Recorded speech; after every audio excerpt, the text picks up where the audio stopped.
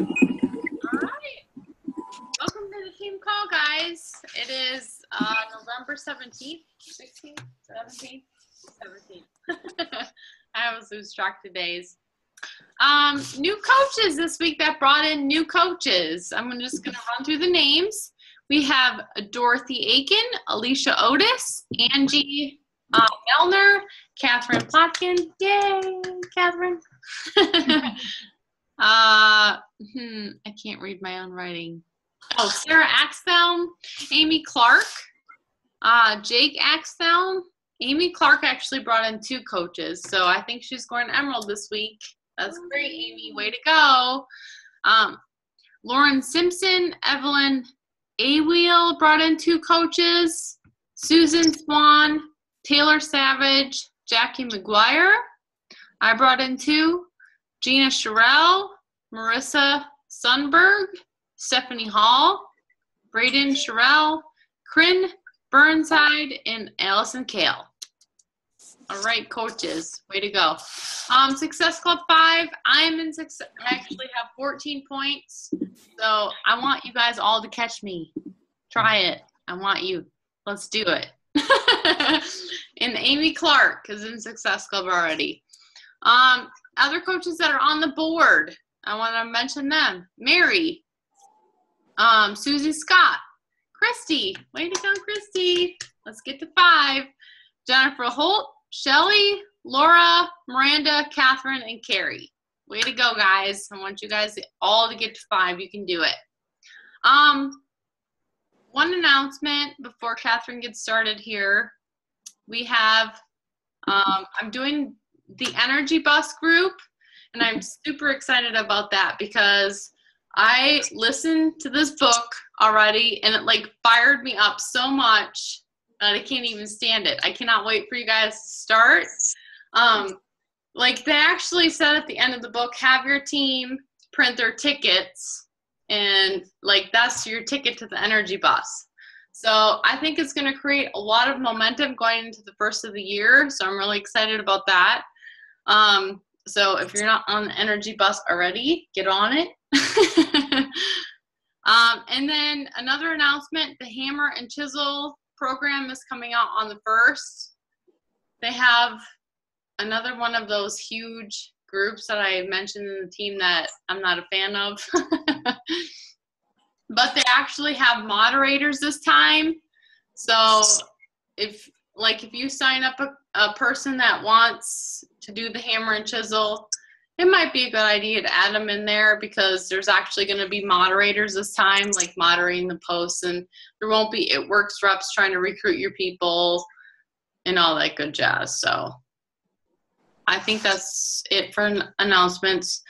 Laura, you said you had a question, so let's start with you real quick. Oh yeah. So um, I right now am Emerald because I have my husband on one leg. Yeah. And then I have a friend of mine on the other. Okay. I'm trying. I don't. I just. I don't understand how to sort of set things up. I'm. I put a friend of mine. I don't know if she's going to join or not in the sneak peek for coaching. Uh-huh. Um, I think she would be actually a great candidate, and I think she could desperately use it. Um, but regardless, whether or not she joins or not, I would like to know how do I position her? What, what should I do to? So I guess I, I'm I'm up here. I look at myself here, and then I've got Chris on one side, and then I've got Janice, my friend, on the other. Okay. Um, should I put? Should I, do I put it under? Do I put? If I were to get another coach, do I put her or him under Chris, under I, my husband? I would personally, if it was me, I would put her on the other leg yep.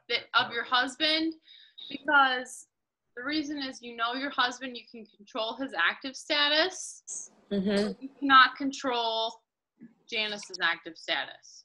Okay. So he goes inactive, you need an insurance coach over there. Mm-hmm. So okay. Personally, I would start putting coaches on the other side. Like under him.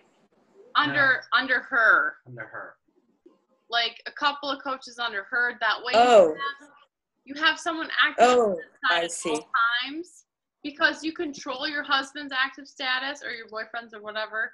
Um, you control that. I see. I see. I got it. I got it. So okay. Okay. That that makes sense. So if someone goes inactive on your other leg, you'll still have another active coach on that side, so you don't lose. Oh, okay. That makes You know? Let me add one more thing too. Right. The, the only downside is that I think that. Uh huh. No, go ahead. See, Go ahead. Go ahead. I, I, Well, the only but Janice is on my weak leg. Like, I mean, I'm sorry, she's on my strong leg. Like, there's more volume. Can you hear me? yeah, Yeah. yeah. From what I understand, there's more volume on my right leg, and my left leg doesn't have much volume at all. Right. Put one more coach on that leg, yeah, and then start signing everybody up under your other side. under your head. Okay. Right, but Got but it. One, but one insurance coach under her first. That way you have that insurance, and that way it's not dependent upon something that's outside of your control. If you Got got it. two or three people over there personal. You know, chances are at least one of them's going to stay active at least for a while. You don't have to worry. about Right. And, and that strategy is exactly the strategy that you're going to take no matter how far you go in this business. For example, once you go two star diamond, okay, you're going to have one diamond in each leg. And then you, okay, once you obtain the status, now you have to secure it. So you got to get that insurance diamond in each leg. You know, I'm just carrying it to the extreme, but that's the way it goes. Like when you, you that's where you're at with uh, you hit emerald now you have to secure it by putting the insurance coaches once you hit ruby you have an emerald on each side and someone else personal on each side you have to secure that ruby you know first you hit it then you insure it and uh, then once you hit diamond you have one emerald in each leg well you better get two emeralds in each leg to insure that in case someone loses their emerald set you know so first you hit it then you insure it and Got you continue that same strategy all the way up, all the way to 15 star diamond. It- Okay. it's the same concept. You hit it, insure it. Hit the next level, insure it. And you keep going up. And that's the basic strategy. And then after you have it insured, you're absolutely right. Then you completely aim toward profitability and put everything that's going to create volume in your weak leg so that you cycle more often Got it. but you have to secure the position before you worry about profitability because if you lose the position, doesn't matter how much volume you have, you're not getting any cycle bonus. Got it. Got it. That makes total sense. Okay. All right. Thank you Yeah. so very, very much for your, uh, your answer. Absolutely. So, bottom line is if you're controlling one leg and you know that they're going to stay active, you just make sure you ensure the other leg to make sure they stay active. Yeah. Okay. Then go So- for profitability after. Yeah. Okay. That's great. Thanks, guys. I appreciate it. No problem. All right, Catherine. So, Catherine is going to be talking about success partners tonight. Yay! Go for it, girl. Okay. Um, all right, guys. So obviously tonight I'm going to talk to you about success partners. I'm sure that most of you have at least heard of success partners, but if you haven't, basically, a success partner is an accountability partner with similar goals to yours. It's someone who kind of pushes you along to always do your best. So, you know how um, accountability is vital to your success. Like we see this with our fitness goals, being accountable, being accountable to your fitness goals, get better results. The same thing is true with your business. So a success partner is someone that you can brainstorm ideas with, do weekly check-ins with. Um, those check-ins can be just you know check your progress for motivation, share what's working for you, share what's not working for you. So um, I'm going to start off by ta- talking to you about what you want to look for in a success partner. Um, number one, you want someone who is in a similar place in their business. Obviously, you're not going to partner up, if you're an emerald, you're not going to partner up with a five star diamond.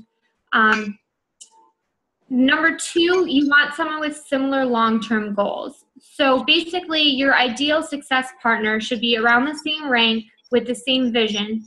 But what's also really important is that they should want to do it at the same pace as you.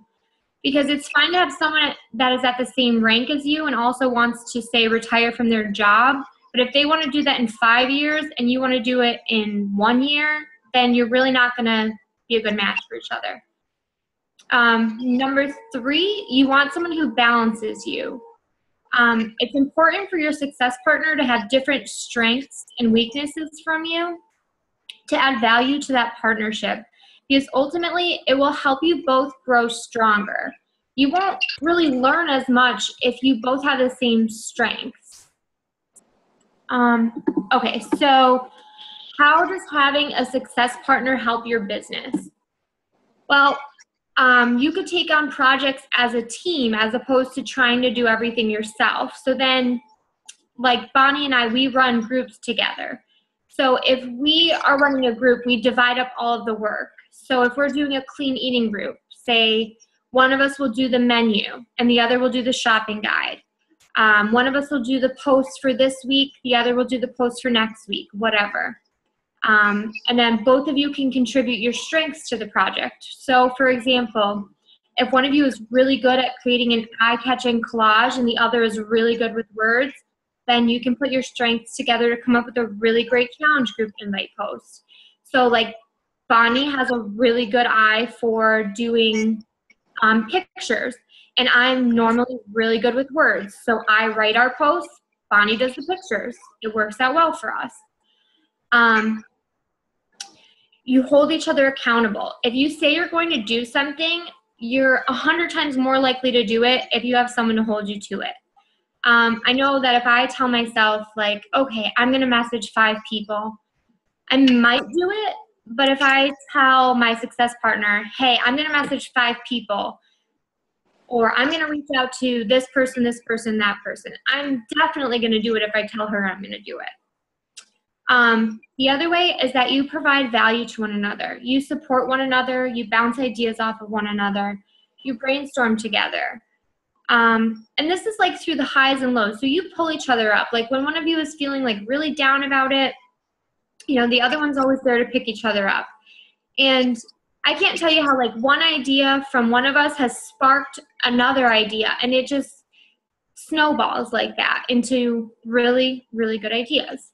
Yeah. Okay. Um, so now that you know what to look for and how it helps your business, where do you look for one? Um, a good place to start is within our team.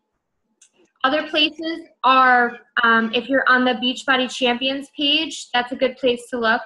Or as you gain in rank, um, you'll be invited to leadership pages, um, like region leadership pages. Um, and in-person events are really good too, like Super Saturday and Summit. And it's kind of important that your success partner doesn't necessarily have to be on the same team. Um, being on different teams is sometimes an advantage because you are sharing what works and what doesn't work, and now you're getting the perspective of two different teams. Um, so I mentioned that Bonnie is my success partner, but I actually have two. Um, Bonnie is on our team and we touch base daily. Um, whether it's a vital behaviors check-in, seeing where we're at with Success Club, rank advancement, potential coaches. Um, we do run challenge groups together, like I mentioned, so we'll talk about how our groups are going, any ideas we have to spice them up if they're getting kind of stagnant. And then I also have another success partner that I met in the Northeast region Diamond Group named Rachel. And now we're not like as active as me and Bonnie are, so we only check in like maybe uh, once every two weeks, and we just kind of share what's working, what's not working, any new ideas that our teams are finding, and share like our long time long term goals, where we are with them, things like that. Um, so my last final tidbit on success partners that I just actually saw in a video today, they were talking about treating your success partnership like a marriage, like if you're in it for the long haul, you have to treat your success partnership like it's a marriage because you're going to be together for a really long time. Um, so don't just jump into it. Kind of date around a little bit and make sure that that person is a really good fit for you. You have to make sure that your goals really line up and that you really click with that person because over time you're going to be spending a lot of time working with that person? Is this someone that you really want to go to the top with? Is this someone that you really want by your side when you reach your goals? Um, just make sure that the person isn't going to be just like a, a sponge per se, that this person is going to have an equal contribution. And that sums it up. Yeah, like at, at leadership, it, it's kind of, it, it is like a marriage. Like you are that close to that person because like there was people even at leadership like dropping down on one knee and actually proposing to their You think about a success. success partner. Yes! It's so funny. Yeah. It was hysterical. These were like five stars and ups, You know. yeah, and they had never had a success partner in their Right. life. So to get to that point, never have a success partner is amazing. Mm-hmm. But like they were actually dropping on one knee and proposing to each other at leadership. It was it was really funny. Yeah. uh, like Derek and I, we've kind of been success partners like from the beginning, but like since we got married, it's not really good to have your spouse be a success partner because you know if you're slack one person's slacking, you tend to both slack at the same time. So that's why Shelly and I kind of have been, you know, teamed up and have been successful partners ever since we got married. So it's just that's the way it is. Every day, every single day, I talk to Shelly every day, and we bounce ideas off each other. We, you know, ask each other where we're at. We, you know, just say, "Hello, sunshine. How are you this morning? Let's get to this today." You know, we just support each other any way we possibly can. And if Mhm. one of us is feeling down that day, I pick her up. If she, if I'm feeling down, she picks me up. So that's what a success partner does. And that's why it's so important to have one. And if you don't have one, you know, just kind of search in the team, see who you might relate to. Like, you know, if there's another teacher on the team and you're a teacher, you know, contact them and say, hey, you know, we're kind of the same. Let's talk to each other. Um, both nurses, both work night shift. What else? Like just tons of stuff. Like just find someone that you relate to. And and like Catherine said, it does not have to be the same team. It can be another coach on Facebook that you feel like you know you connect with or you relate to and just contact them. Don't be afraid to message. Don't be afraid to message them and just ask them hey do you have a success partner? I think we have a lot of stuff in common. I think maybe we could you know push each other and make each other better in this business. So oh it says my internet connection is unstable awesome. You froze. yeah, usually when it says it's unstable, I'm frozen. So, You were frozen. Yeah. Where, where did I leave off at? Uh, looking for the success par- partner.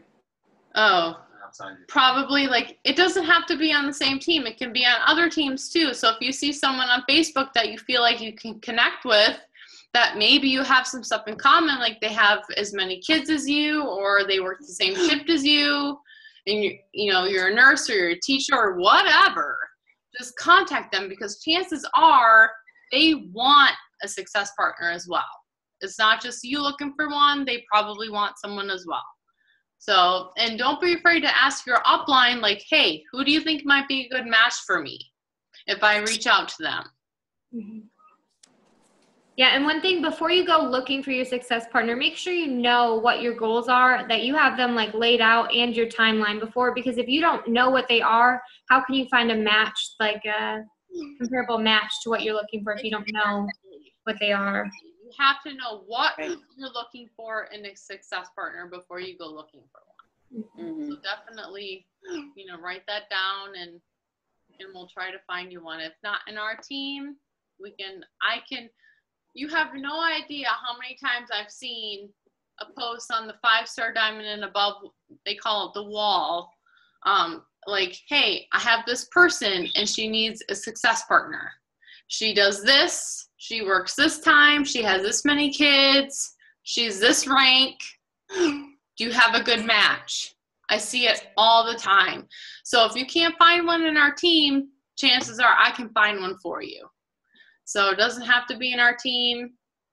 And uh, I think this is a really good topic. Like if it wasn't for Shelly, I would be losing my mind right now.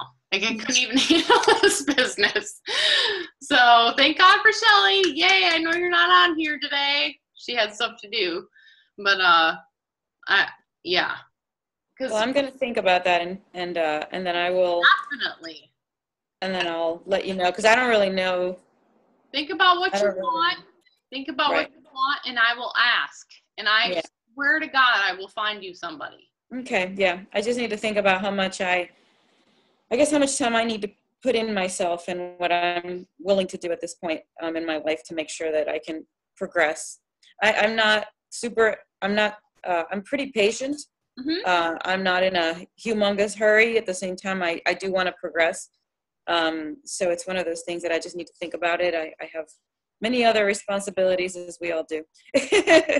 but I definitely take it seriously as as uh, as you can tell. I've been posting those videos like crazy. So been doing awesome. Mhm. yep, little by little. Really proud of what you're what you've been. Thank you.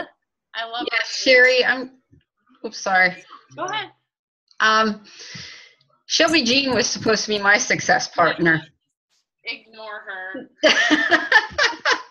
So, um, yeah, I'm gonna be contacting you in a couple days about getting a new one. We'll find you a new one. Okay. As long as you promise not to go to It Works Like Her. I promise, I'm not gonna do the raps. like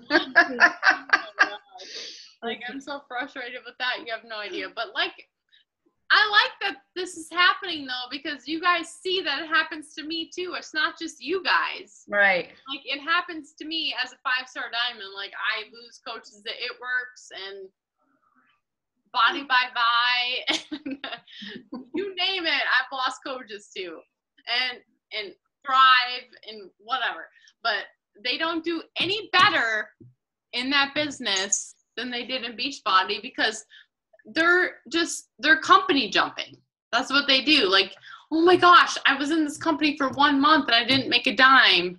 Well, I'm gonna go to this next company and then they and none of them make any money ever because they don't stick it out. They don't wait that year that we tell them. Wait a year of consistent activity and you will see the seeds you've planted grow. It's so frustrating. It's, it's the exact same. Imagine if someone in your hometown, like we live in a small town, opened up a restaurant. And he opened up this restaurant for a month. And was like, this isn't working. I think I'm going to open a gas station. Shut it down and open that up for a month. This ain't working. I think I'm going to open up uh, a, a, an ice cream shop and, and try that and do that for. It's the It's same ridiculous. ridiculous. It's like you have to pick a business that you want to run and you got to put yourself in it and you got to do consistent effort advertising put your heart and soul into it be here in a year and then see where you're at you know, that's what you have in anything whether it's a brick and mortar business or whether it's an internet business these amateurs that come online to so-called run a business that have punched the clock their whole life that have no concept of what it takes to be a true entrepreneur will jump from one thing to the next which is as ridiculous as opening and shutting down a restaurant in a month going to a gas station, going to an ice cream shop. It's like, seriously, no one would ever take them seriously. Like, are, are you a joke? if you, you, you've got to be an entrepreneur. You've got to commit to whatever it is you're doing. if you open up a Domino's, it's going to take you three years to see any profit Yeah. from and, that four hundred thousand dollar Domino's restaurant. and I, I almost did that. Yeah, I was at the point where I was doing the franchise classes. This is what they told me. They said, okay, they said your investment will be 400000 which I had to have up front. And then they said, in order for you to even be approved for us to accept your money, you have to prove to us that you have three years of income, liquid cash, Saved up. saved in the bank, so you guys can live for three years, you and your family, because you won't make a dime for three years. And then mm-hmm.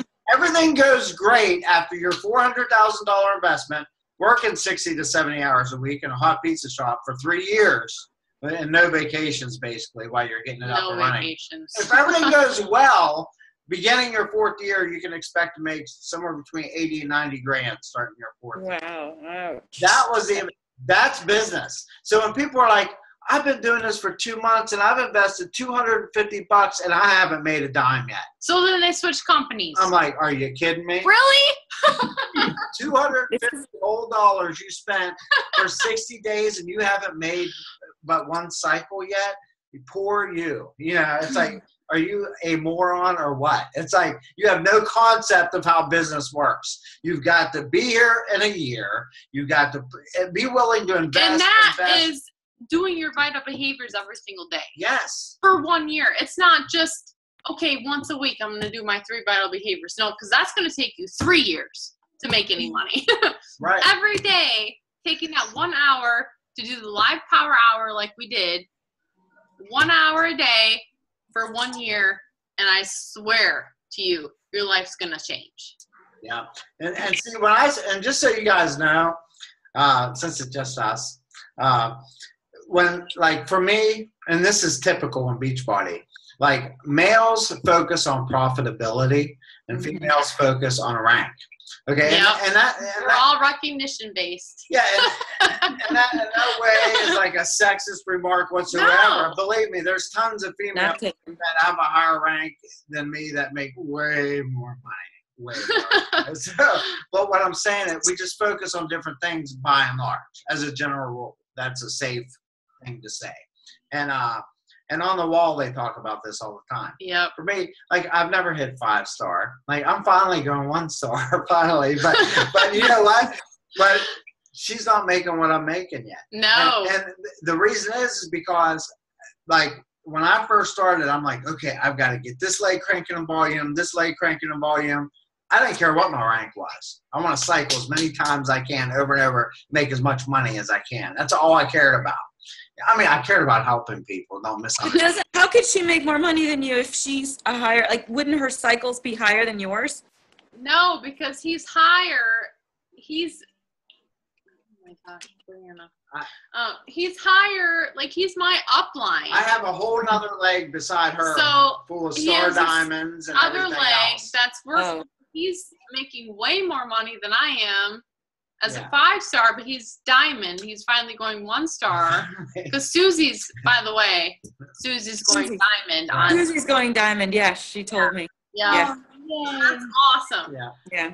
but but so you know there's a profit so i've always focused on a profitability thing But that's a men thing. Yeah, Like it is. men focus on profit and cycles and volume and like they're just their minds are different. So they focus on like the numbers game while women we like to be recognized, you know, the same as we like to our men to tell us we're beautiful. Like we we want to be recognized, like one star, two star, three star, five star, whatever. That's what we thrive on. But the men, they can care less about recognition. They want money. i want the They biggest want- paycheck every week that i want to support their family. yeah They want, you know, the dollars. So My 14, my 14 year old musician son is listening to all of this with a big Yeah. smile on his face. true. right so so just know you know like when i give you guys advice or whatever even though i'm not five star yet or whatever i'm telling you i know what i'm talking about i've been doing this for almost six years He mentored me i've been doing this for almost I six years making a ton of money way more than you know. me. it's it, it's uh and you know so it just depends on what your goals are you know for how you should be attacking this yourself you know and that's what I need to. That's what I need to little by little study more of is how to attack it. I, I tend to think more like a guy sometimes, um, but but I need to kind of. I don't. I don't fully understand how the structure is, and I know that will come, and I'm not even worried about it now. But that's why I'm just dealing it one step at a time. if you want help str- strategizing you know for things like that i can definitely help you because i completely understand exactly how all that. Just call him. yeah Okay. we can talk Yeah. we can talk about a strategy and you know like profitability and things like that uh, It just all depends on what you want. Do you want to be two star? Do you want to be recognized as Summit? Do you want the recognition? Do you thrive on recognition? Do you thrive on being like diamond and have your name announced and you know all that stuff? Or do you thrive on supporting your family and having income and you know having your dreams come true? What do you thrive on? right Right. That's where your focus needs to be. and ultimately you can do both you Yeah, know but you can at but- first. But as far as a strategy, as far as running, how you're placing your coaches and for what reasons and why, depends on what you're trying to get out of it. If you're trying to get the 1500 a week or 2000 a week as fast as you can, it's going to be a different strategy than if you're trying to get the five star as fast as you can. It's a different placement strategies and, you know things like you know putting people in your strong leg as opposed to putting people in your weak leg. That's what you do for profitability. But if you know if you're going to be stuck at one star, unless you put people in your strong leg, if you're shooting for five star, you're going to be putting people in your strong leg anyway. You're like, ah, profitability will come. I want to get five star. That's my goal. Well, that's fine, like because that's profitable too.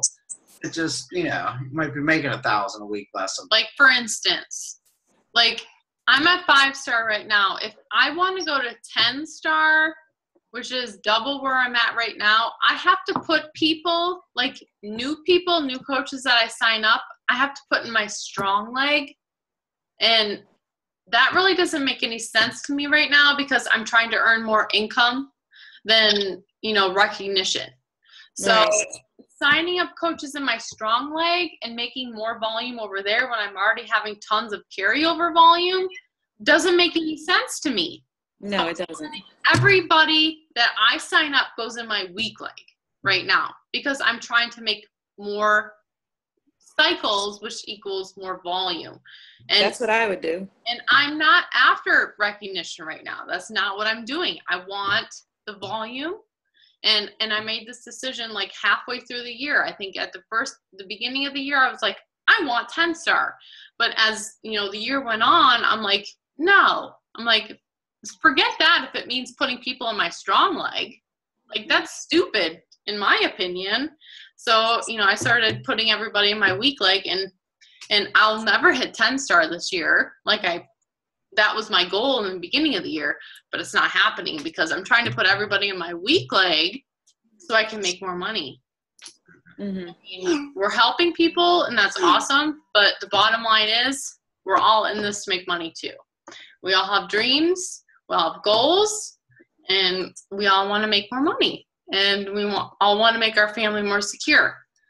So it just all depends on where your goal is at to where you're going to put people. So that's totally up to you. Which Well, way- as I, as I, I I hope to have that problem, and as I do, I'll certainly call on Derek. absolutely. yeah, Call on either of us. We'll Yeah. be here. absolutely. All right. Thank you. Awesome question. Anybody else have any questions? I'm good. Okay, great. Well, Thank awesome you, guys. guys. No problem, and we will see you guys next week. Nice. All right. Have a great night. Thank you for talking tonight. Thank you. Good job. Bye. Bye.